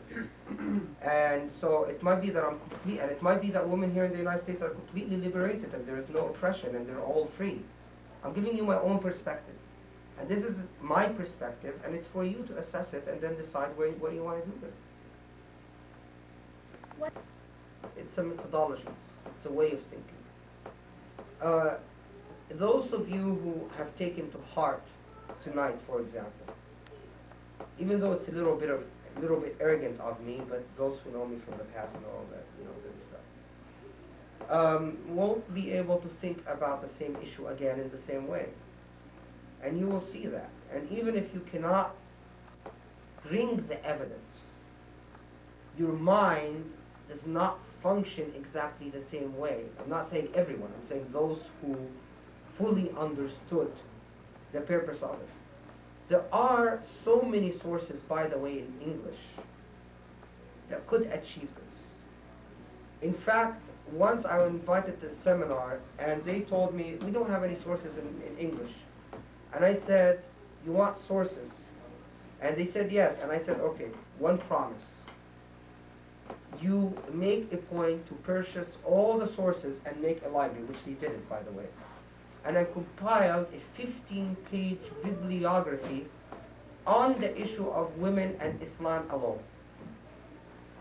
And this bibliography is in the Islamic Center of Southern California. What in I meant, English. What I meant was they're not readily available in any bookstore. I think it's more. Yeah, that's true. I think it's more than just readily available. I think even if it was available, even if people did say something, there's something that stops people from spreading this kind of knowledge, or there's something that stops the spread of this kind of knowledge. There's emphasis, I mean, for some reason, we choose to emphasize should nail polish be worn in a mosque or not, or whatever. I mean, instead of like something that actually has an effect on life. There's some, there's some, it's not just a lack of knowledge, it's a matter of, even if somebody feels like they have knowledge and they, they, they've got something, you can't just go forward in the community and then share that because, I mean, even tonight, I mean, as a lot of people, you, you can't go to Saudi Arabia, have a bunch of women who've never driven and tell them, look how stupid this Bin Baz is, or whatever. No, no. no one, Even no one, tonight, you can't do that. Most of what, most of what you hear tonight, you are not going to be able to share with other Muslims. That's a fact. Yeah, but to, what, there's something wrong about that fact, don't you think? Yeah? Yeah, what, what, I mean, there's gotta be, but that barrier has to, I mean, it- I think one hopes can that be that can be overcome. overcome. Well, can't you, do it. you, you, We I have to, mean, you have to overcome. you are, you are the youth, okay? finding the solutions is your job. I do my job by going and spending 15 hours sometimes a day poring over medieval texts, dusty medieval texts, bringing them out and writing about them and lecturing about them, and that's my job. I cannot solve the problems of Muslim American youth because I myself, I am not a Muslim American youth. I grew up in Egypt and I do not understand your problems and I do not understand your tastes. What I understand is that the type of Islam that I see practiced is very alien from the type of Islam that I know through these books. It is for you to sit down and brainstorm and think about why and how and when. I am, I liken myself to sort of a, the remains of a dinosaur. It lets you know that it existed. It lets you know the history and the past. But it makes no material difference in the present. And that's exactly it. I'm but not uh, these out. fatwas are a clear indication that something is wrong all over the Islamic world, not just with us Muslim Americans. that w- the West is not. So, what is Islam? Well, okay, let's see what the West is, and, Islam is the opposite. So, in the words of Muhammad al-Ghazali, my teacher, one of my teachers, he says that Islam became a reaction, not an action, not an independent action. When I come and I basically when I come and sit here and allow you to set the terms of the discourse. For example, we start out by saying, okay, you know, Khaled, we are going to talk, but I don't want you to say anything that violates the Quran or the Sunnah or the, or the practice of the Sahaba, okay? I am reacting to you. In other words, the terms of the discourse have already been set.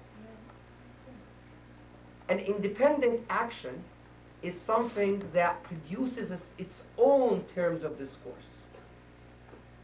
For centuries, since basically the set of colonialism, I would say in 16th century was the last time there was a real assertion of Islamic identity. I mean, we've gone up and mm-hmm. down.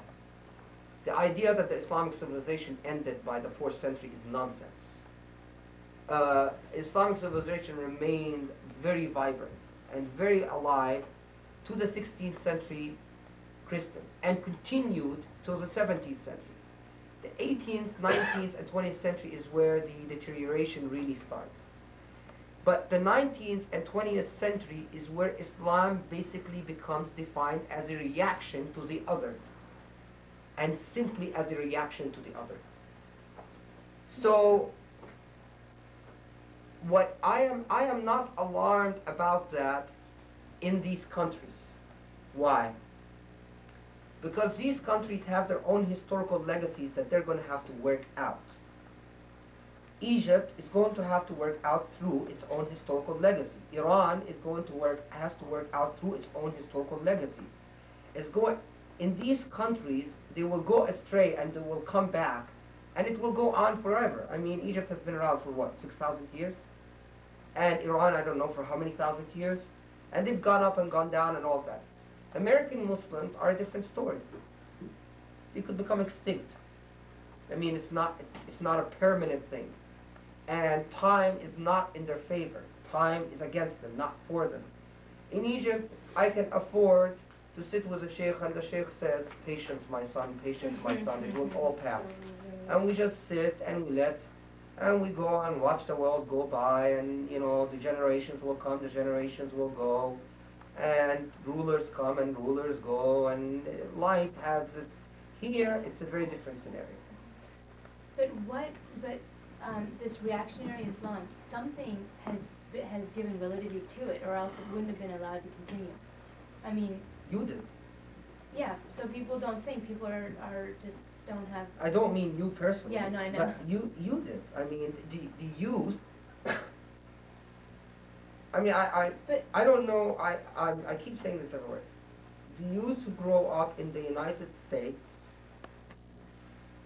repeat, re, understanding Islam, and this is what we'll get into tomorrow and after tomorrow, as a legalistic code and not a moral code, who fail to understand the morality and the value system behind Islam and look at it basically as a system of laws, haram and halal, not as a system of heartfelt morality, of right and wrong. These That's are the people who are re- repeating the same mistake. Right. And that is why, by the legalistic code, and that is why, by the way, I tell you this. And, and anyway, we'll get into this later. I mean, there's a selection by Mutahari about the difference between agnostics and jurists, and, and agnostics are the Sufis. And, and the, the, the point that I am making is that Islam cannot be only morality and purity and heart and cannot be only laws. And Muhammad Iqbal made this point in the 1930s in the reconstruction of religious thought, that this is not a religion of laws, and a religion of laws becomes a means of oppression. But if every youth who grows up under his parents and replicates, and I'll be very honest with you, replicates Egyptian culture, replica- replicates Saudi culture, replicates Indo-Pakistani culture, replicates the, the biases, replicates the hatreds, the arguments, the Shia, the Sunnah. Well, I, we, we don't marry from Arabs. Well, we don't marry from Indo-Pakistanis. Well, you know, the Pakistanis are never like, you know, the real protectors of Islam are the Arabs. And I hear this among the youth as well. And I hear it not as bluntly, but it's there. So, you did. I mean, it's simple as that. Now, what, what do you do about it? Uh, it's in, in your hands. I mean, I, I think AMILA is, is a good idea, but you, um, every youth who basically accepts a position of passivity, and I'll tell you, I mean, I've been doing this since 1982, exactly. And by 1991, I've started just making very few appearances with Muslims, and and uh, and I, I think that um, the problem with a lot of the youth is that they grow up, and that that is really it. Is in 1982, and 1983, and 1984, and 1985, I've taught a lot of people. And throughout the years, I've watched the youth move from university of saying, oh my God, what's going on, growing up, getting married, getting a job, being caught up in the mainstream, and then building, buying a house and having a family and all of that, and then Islam becoming a cultural refuge again, not an ideological message.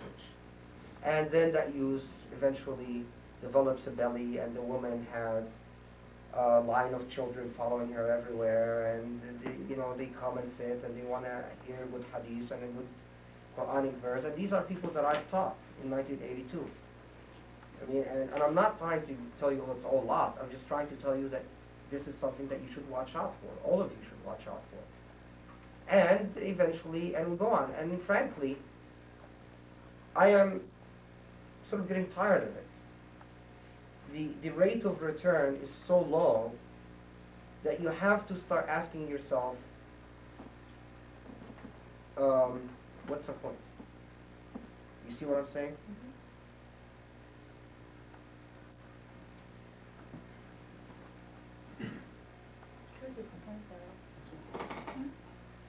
Well, the fact is that we're ordered to, to um, the, the, the fact is that we're, we're ordered to work and we don't look at the results. I mean, the, the, the other way is that I do write and I do publish in English. And it's there. Yeah. Uh, so it's there. I mean, it, it's not easy reading, and uh, it, it's the type of stuff that you sort of need hours to get through 30 pages.